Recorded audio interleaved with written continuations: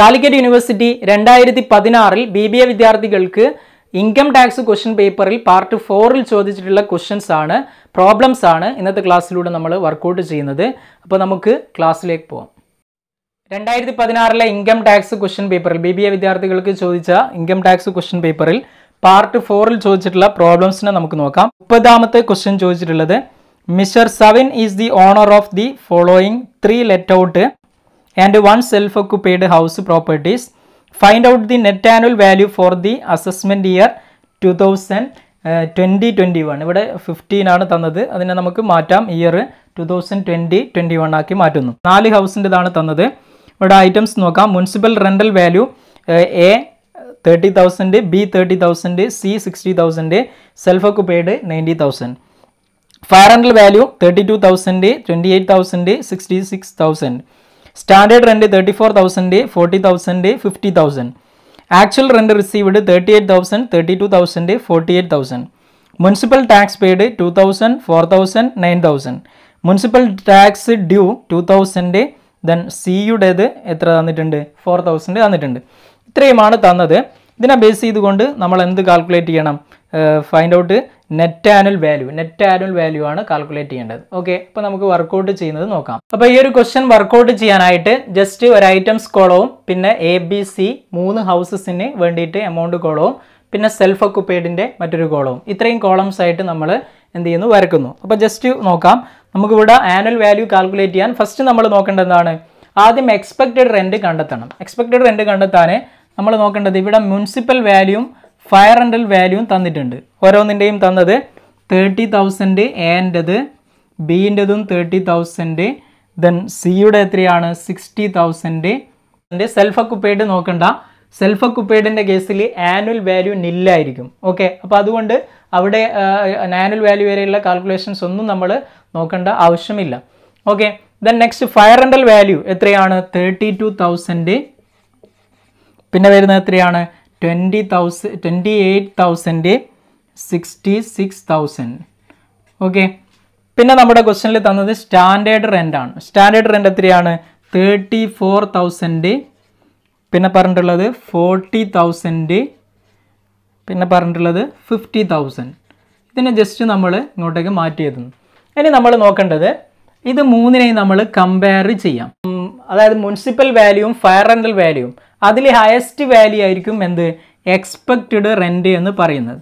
Expected rent okay municipal value fair rental value നോക്കുക. അതിൽ highest value ഇവിടെ ഏതാണ്? ഇതിൽ മുപ്പത്തി രണ്ടായിരമാണ് അത് സ്റ്റാൻഡേർഡ് റെന്റിനേക്കാണ് കൂടാൻ പാടില്ല. ഇവിടെ മുപ്പത്തിരണ്ട് മാത്രമേ ഉള്ളൂ. അപ്പോൾ അതായിരിക്കും എന്ത്? എക്സ്പെക്റ്റഡ് റെന്റ് എന്ന് പറയുന്നത്. ഇനി ബിയുടെ കേസിൽ മുപ്പതും ഇരുപത്തിയെട്ടാണ്. ഓക്കെ അപ്പം കൂടുതൽ ഏതാണ്? മുപ്പതിനായിരമാണ് അതിനെ നമ്മൾ കാണിക്കുന്നു. ഇനി സിയുടെ കേസിൽ അറുപതും അറുപത്തി ആറാണ് പക്ഷേ സ്റ്റാൻഡേർഡ് റെന്റ് എത്രയേ ഉള്ളൂ? അമ്പതിനായിരമേ ഉള്ളൂ. അമ്പതിനായിരത്തിൽ കൂടാൻ പാടില്ല. സ്റ്റാൻഡേർഡ് റെന്റിനേക്കാണ് കൂടുതൽ ഒരിക്കലും എക്സ്പെക്റ്റഡ് പോകാൻ പാടില്ല. അപ്പോൾ എത്ര മാത്രമേ എക്സ്പെക്റ്റഡ് വരും? ഫിഫ്റ്റി തൗസൻഡ് മാത്രമേ വരും. ഓക്കെ അല്ലേ? ഇനി നെക്സ്റ്റ് നമ്മൾ കാണിക്കേണ്ടത് എന്താണ്? ആക്ച്വൽ റെന്റ് ആണ് കാണിക്കേണ്ടത്. നെക്സ്റ്റ് നമ്മൾ കാണിക്കുന്നത് ആക്ച്വൽ റെന്റ് ആണ്. നമ്മുടെ ക്വസ്റ്റനിൽ actual rent received thirty eight thousand പിന്നെ പറഞ്ഞത് തേർട്ടി ടു തൗസൻഡ് പിന്നെ പറഞ്ഞത് ഫോർട്ടി എയ്റ്റ് തൗസൻഡ് ഇത്രയുമാണ് തന്നത്. ഇതിൽ ഹയസ്റ്റ് വാല്യൂ ഏതാണോ അതായിരിക്കും എന്ത്? ഗ്രോസ് ആനുവൽ വാല്യൂ എന്ന് പറയുന്നു. ഓക്കെ ഇവിടെ മുപ്പത്തിരണ്ടും മുപ്പത്തിയെട്ടും ഹയസ്റ്റ് ഏതാണ്? മുപ്പത്തി എട്ടായിരം ഇനി മുപ്പതും മുപ്പത്തിരണ്ടും ഹയസ്റ്റ് എത്രയാണ്? മുപ്പത്തി രണ്ടായിരം അമ്പതും നാൽപ്പത്തെട്ടും ഹയസ്റ്റ് ഫിഫ്റ്റി തൗസൻഡ് ഓക്കെ ഇത് അപ്പം മുപ്പത്തി എട്ടായിരം മുപ്പത്തി രണ്ടായിരം അമ്പതിനായിരം ഇതാണ് എന്ത് ഗ്രോസ് ആനുവൽ വാല്യൂ എന്ന് പറയുന്നത്. ഇനി ഈ ഗ്രോസ് ആനുവൽ വാല്യൂയിൽ നിന്നും നമ്മൾ എന്തിനെ മൈനസ് ചെയ്യണം? മുനിസിപ്പൽ ടാക്സിനെ മൈനസ് ചെയ്യണം. നമ്മുടെ ക്വസ്റ്റനിൽ മുനിസിപ്പൽ ടാക്സ് പെയ്ഡ് എന്റെത് എത്രയാണ്? ടു തൗസൻഡ് തന്നിട്ടുണ്ട്. ബീന്റെത് എത്ര? ഫോർ തൗസൻഡ് തന്നിട്ടുണ്ട്. സീന്റെത് തന്നിട്ടില്ല. മുനിസിപ്പൽ ടാക്സ് ഡ്യൂ ആണ്. പെയ്ഡിനെ മാത്രമേ കാണിക്കണ്ടുള്ളൂ. ഡ്യൂ ആയത് കാണിക്കണ്ട. ഓക്കെ അപ്പോൾ ഇതിൽ രണ്ടിലും വന്നു. ഇതിനെ ഇതിനെ മൈനസ് ചെയ്യുന്നു. മൈനസ് ചെയ്ത് കഴിഞ്ഞാൽ നമുക്ക് എന്ത് കിട്ടും? ആനുവൽ വാല്യൂ കിട്ടും. അതായത് മുപ്പത്തിയെട്ടിൽ നിന്നും രണ്ടായിരം കുറച്ച് കഴിഞ്ഞാൽ മുപ്പത്തി ആറായിരം മുപ്പത്തിരണ്ടിൽ നിന്നും നാലായിരം കുറച്ച് കഴിഞ്ഞാൽ ഇരുപത്തി എട്ടായിരം ഇവിടെ അമ്പതിനായിരം. ഇതാണ് ആനുവൽ വാല്യൂ എന്ന് പറയുന്നത്. സെൽഫ് ഒക്കുപ്പൈഡിന്റെ കേസിൽ ആനുവൽ വാല്യൂ എന്തായിരിക്കും? നില്ലായിരിക്കും നമ്മുടെ ക്വസ്റ്റനിൽ നെറ്റ് ആനുവൽ വാല്യൂ ആണ് ചോദിക്കുന്നത്. നെറ്റ് ആനുവൽ വാല്യൂ എത്രയാണെന്ന് ചോദിക്കുന്നത്? അതായത് എങ്ങനെ വരും? മുപ്പത്തി ആറായിരം പ്ലസ് ഇരുപത്തി എട്ടായിരം പ്ലസ് അമ്പതിനായിരം. ഓക്കെ ടോട്ടൽ ഇത് കഴിഞ്ഞാൽ നമുക്ക് ഒരു ലക്ഷത്തി പതിനാലായിരം എന്ന് കിട്ടും. ഇതാണ് എന്ത് നെറ്റ് ആനുവൽ വാല്യൂ മൊത്തം ആനുവൽ വാല്യൂ എന്ന് പറയുന്നത്. ഇനി ആനുവൽ വാല്യൂയിൽ നിന്നും thirty percentage minus standard deduction minus ചെയ്യണം. Thirty percentage standard deduction minus ചെയ്യണം. അത് കുറച്ച് കഴിഞ്ഞാൽ കിട്ടുന്നതാണ് എന്ത് income from income from H P എന്ന് പറയുന്നത്. നമ്മുടെ ക്വസ്റ്റനിൽ annual value net annual value calculate ചെയ്യാനാണ് പറഞ്ഞിട്ടുള്ളൂ. അപ്പോൾ ഇതെല്ലാം കൂട്ടിക്കഴിഞ്ഞാൽ നമുക്ക് നെറ്റ് ആനുവൽ വാല്യൂ കിട്ടും. ഇനി ഇൻകം ഫ്രം ഹൗസ് പ്രോപ്പർട്ടി കാണാൻ ഇതിൽ നിന്നും തേർട്ടി പെർസെന്റേജ് മൈനസ് ചെയ്യണം. അപ്പോൾ ഇതിന്റെ ഓരോന്നിന്റെയും തേർട്ടി പെർസെന്റേജ് കണ്ടിട്ട് മൈനസ് ചെയ്ത് കഴിഞ്ഞാൽ നമുക്ക് ഇൻകം ഫ്രം ഹൗസ് പ്രോപ്പർട്ടി കിട്ടും. ഓക്കെ അപ്പോൾ ഇവിടെ തേർട്ടി പെർസെന്റേജ് കണ്ടു കഴിഞ്ഞാൽ ten thousand eight hundred eight thousand four hundred fifteen thousand എന്ന് കിട്ടും. ഇത് കുറച്ച് കഴിഞ്ഞാൽ കിട്ടുന്നതാണ് income from house property twenty five thousand two hundred nineteen thousand six hundred thirty five thousand okay ഇനി ഇതിൽ ഇത് മൊത്തം കൂട്ടിക്കഴിഞ്ഞാൽ നമുക്ക് net income from house property കിട്ടും നമ്മുടെ ക്വസ്റ്റനിൽ നെറ്റ് ആനുവൽ വാല്യൂ മാത്രമേ ചോദിച്ചിട്ടുള്ളൂ. അപ്പോൾ ഈ ഒരു ആനുവൽ വാല്യൂസ് കൂട്ടിക്കഴിഞ്ഞാൽ നമുക്ക് നെറ്റ് ആനുവൽ വാല്യൂ കിട്ടും. ഓക്കെ മുപ്പത്തി ഒന്നാമത്തെ ക്വസ്റ്റ്യൻ ചോദിച്ചിട്ടുള്ളത് from the following particulars of mister Arjun compute the amount of taxable gift chargeable as income under the head income from other sources with explanations okay ഒന്നാമത്തെ പറഞ്ഞിട്ടുള്ള എന്താണ്? received a check of rupees 1 lakh as gift from his grandfather on 15th May 2014. Second one, received rupees 20,000 from his friend in Canada as a gift on 31st May 2014. Then next, third one, received rupees 5 lakh under a will from his grandmother on 30th June 2014. The next day, received rupees 50,000 from his father's friend on 30th June 2014. The next one received rupees 75,000 as gift from his uncle on 30th September 2014 on his birthday. The next one received rupees 20,000 as gift from his employer on 1st October 2014. Next one received rupees 51,000 as gift from his father's brother on 30th November 2014.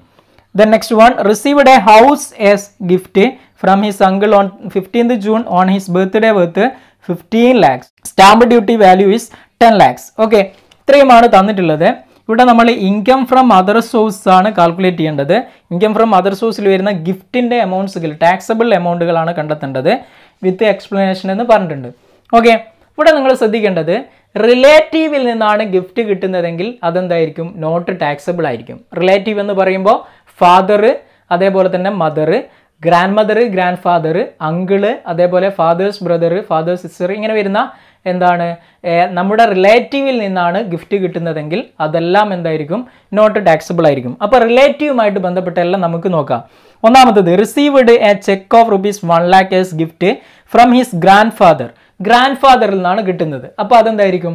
Not taxable ആയിരിക്കും. Explanation എന്താണ്? Is relative to the Arjun okay അയാൾ എന്താണ്? Relative ആണ്. അപ്പോൾ ഇവിടെ ഇവിടെ just നമ്മൾ gift from grand father എന്താണ്? നോട്ട് ടാക്സബിൾ ആണ്. എമൗണ്ട് കാണിക്കേണ്ട ആവശ്യമില്ല. ഇനി അടുത്ത റിലേറ്റീവ് നോക്കാം. അടുത്ത വരുന്ന രണ്ടാമത്തെ received rupees twenty thousand from his friend അത് ഫ്രണ്ട് ആണ്. അപ്പോൾ അത് മാറ്റി വെക്കുക. നമുക്ക് ലാസ്റ്റ് ചെയ്യാം. നെക്സ്റ്റ് മൂന്നാമത്തത്. Received rupees five lakh under a will from his grandmother grand മദറിൽ നിന്നാണ് വരുന്നത്. അണ്ടർ എ വിൽ അപ്പോൾ ഗ്രാൻഡ് മദറിൽ നിന്ന് കിട്ടുമ്പോൾ അതെന്തായിരിക്കും? ഗിഫ്റ്റ് നോട്ട് ടാക്സബിൾ ആണ്. ഓക്കെ ഇനി നെക്സ്റ്റ് നാലാമത്തത്. Received rupees fifty thousand from his father's friend അത് ടാക്സബിൾ ആണ്. അത് നമുക്ക് ലാസ്റ്റ് ചെയ്യാം. അടുത്ത റിലേറ്റീവ് നോക്കാം.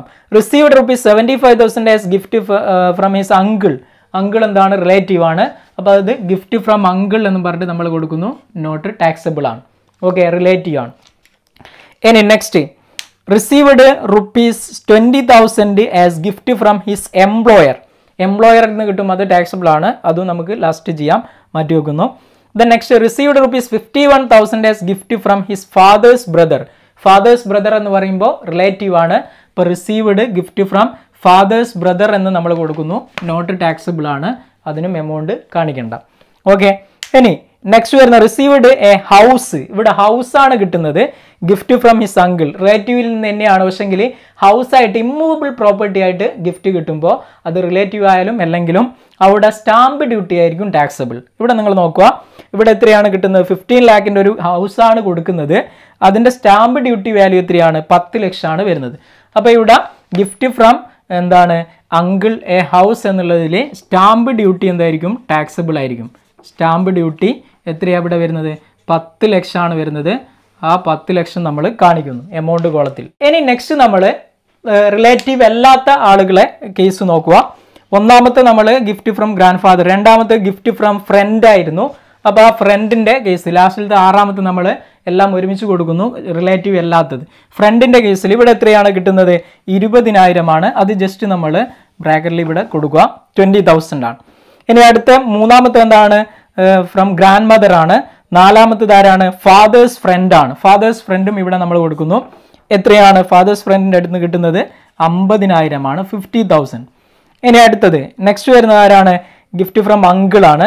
പിന്നെ വരുന്ന ഗിഫ്റ്റ് ഫ്രം എംപ്ലോയർ ഓക്കെ അപ്പോൾ എംപ്ലോയറിൽ നിന്ന് കിട്ടുന്നതും എത്രയാണ്? എമൗണ്ട് ട്വന്റി തൗസൻഡ് ആണ്.